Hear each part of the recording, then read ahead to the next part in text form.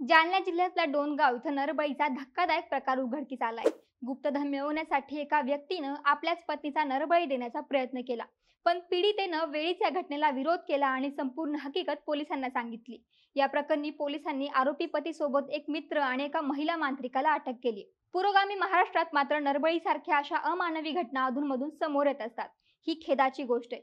पण तुम्हाला माहितीये अशा प्रकाराला आळा घालण्याचं काम देशात सगळ्यात आधी महाराष्ट्रात झाले आणि महत्वाचं म्हणजे आपल्या महाराष्ट्राचं अनुकरण युगांडासारख्या आफ्रिकन देशानं केले. नमस्कार मी अक्षता. तुम्ही पाहताय बोल भिडू. तर सगळ्यात आधी आपल्या महाराष्ट्रातल्या नरबळी कायद्याविषयी बोलू.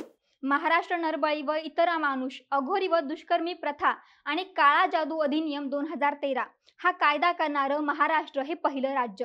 डॉक्टर नरेंद्र दाभोळकर आणि त्यांच्या महाराष्ट्र अंधश्रद्धा निर्मूलन समितीने राज्यात होणाऱ्या अशा घटनांना चाप बसावा आणि या संबंधित कायदा तयार व्हावा यासाठी पाठपुरावा केला होता. खरं तर अशा कायद्याची मागणी एकोणीसशे नव्वद पासूनच होती. या कायद्याला हिंदुत्ववादी संघटनांकडून विरोध सुद्धा करण्यात आला होता. अंधश्रद्धा निर्मूलन समितीला यासाठी वीस वर्ष संघर्ष करावा लागला. दाभोळकर यांच्या हत्येनंतर सव्वीस ऑगस्ट दोन हजार तेराला हे विधेयक महाराष्ट्र विधानसभेत मांडण्यात आलं. आणि नागपूरच्या हिवाळी अधिवेशनात डिसेंबर दोन हजार तेराला हे मंजूर केलं गेलं. आता या वर्षीच्या मे महिन्यातच युगांडामध्ये असाच कायदा लागू करण्यात आलाय.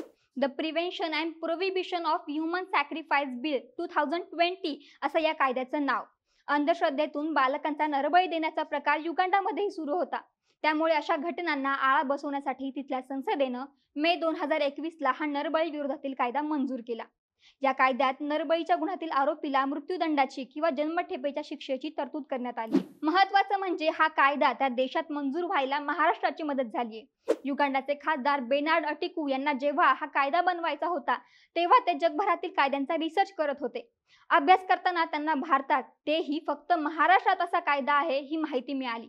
या कायद्याच्या निर्मितीमध्ये मोठा सहभाग असणाऱ्या अंधश्रद्धा निर्मूलन समिती अर्थात अनिस सोबत अटिकू यांनी संपर्क साधला. त्यांचा आग्रह होता की संघटनेच्या दोन प्रमुख व्यक्तींनी आणि राज्यात हा कायदा घडून आणलेल्या सरकारमधील कोणा जबाबदार मंत्र्याने युगांडाला येऊन या कायद्याबाबत त्यांना मार्गदर्शन करावं. यासाठी माजी मुख्यमंत्री पृथ्वीराज चव्हाण आणि अनिशचे अविनाश पाटील तयारही झाले होते. पण काही कारणांमुळे हे शक्य झाले नाही. पण कायद्याचा मसुदा तयार करण्यासाठी अनिसने ऑनलाईन माध्यमातून सर्व प्रयत्न केले आणि त्यातूनच युगांडा देशात या स्वरूपाचा कायदा अस्तित्वात आला. आता महाराष्ट्राच्या धर्तीवर हा कायदा युगांडामध्ये तयार झाला. पण राज्यात अजूनही हे अमानवी प्रकार सुरू आहेत ही आपल्यासाठी दुर्दैवाची गोष्ट आहे. कायदे असूनही अशा घटना घडतायत.